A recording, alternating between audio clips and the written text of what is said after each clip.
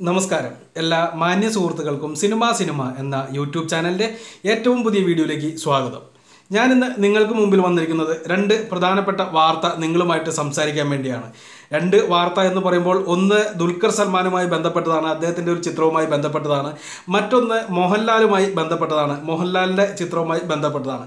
Okay അപ്പോൾ നമുക്ക് ആ ഒരു വീഡിയോയിലേക്ക് കടക്കും മുമ്പ് ഒരു കാര്യം പറഞ്ഞോട്ടെ. നിങ്ങൾ ആദ്യമായിട്ടാണ് എന്റെ ഈ ചാനൽ കാണുന്നതെന്നുണ്ടെങ്കിൽ ദയവ് ചെയ്ത് ഈ ചാനൽ ഒന്ന് സബ്സ്ക്രൈബ് ചെയ്യാൻ ശ്രമിക്കുക. ഇത് പൂർണമായിട്ട് ഒരു സിനിമ ബേസ് ചെയ്തിട്ടുള്ള ഒരു ചാനലാണ്. അതുകൊണ്ട് തന്നെ സിനിമയെ സ്നേഹിക്കുന്ന ആർക്ക് വേണമെങ്കിലും ധൈര്യമായിട്ട് ഈ ചാനൽ സബ്സ്ക്രൈബ് ചെയ്യാവുന്നതാണ്.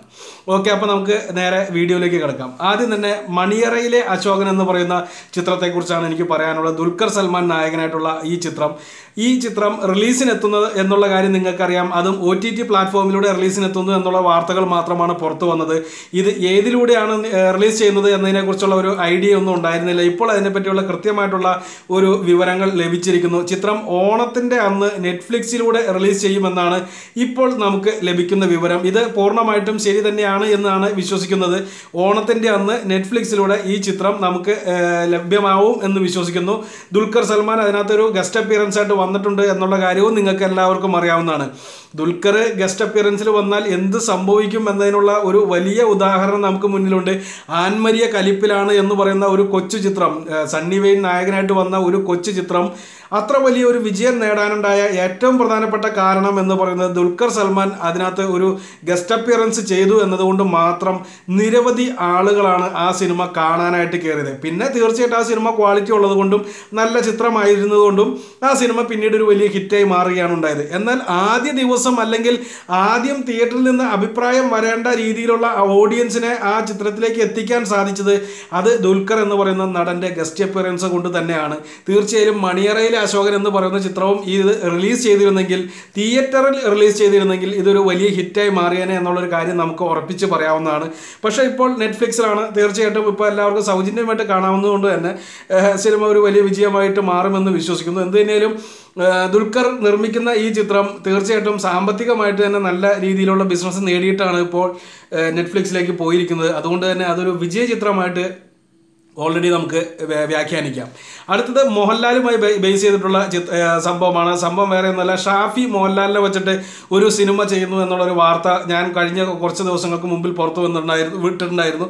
ഞാൻ വിട്ടു എന്ന് ഞാൻ അവകാശപ്പെടുന്നില്ല. കാരണം ഇഷ്ടംപോലെ ചാനലുകൾ അതിനെപ്പറ്റിയുള്ള വാർത്ത വന്നിരുന്നു. ഞാൻ ചെയ്യുന്നതിന് മുമ്പ് തന്നെ പല ചാനലുകളിലും അതിനെപ്പറ്റിയുള്ള വാർത്ത വന്നതാണ്. കാരണം ഷാഫി തന്നെ ഓപ്പണായിട്ട് പറഞ്ഞതാണ് അദ്ദേഹം മോഹൻലാലിന് വേണ്ടി ഒരു സിനിമ തയ്യാറാക്കുന്നു എന്നുള്ള കാര്യം.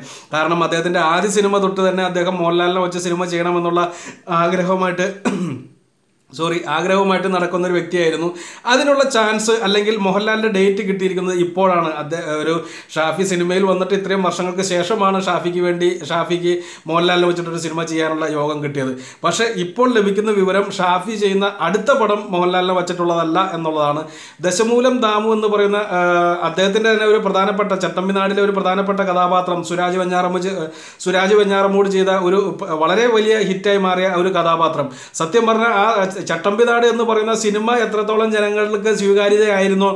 അതിനേക്കാൾ എത്രയോ വലിയ മടങ്ങ് ദശമൂലം ദാമു എന്ന് പറയുന്ന കഥാപാത്രം ജനങ്ങളുടെ ഇടയിലേക്ക് കയറി എന്നതിനുള്ള ഒരു വലിയ ഉദാഹരണമാണ്. ഇത്രയും ആ സിനിമ ഇറങ്ങി പത്ത് വർഷങ്ങൾക്ക് കഴിഞ്ഞിട്ടും ദശമൂലം ദാമു ഇപ്പോഴും കേരളത്തിൽ സജീവമായിട്ട് തകർത്തുകൊണ്ടിരിക്കുന്നത്.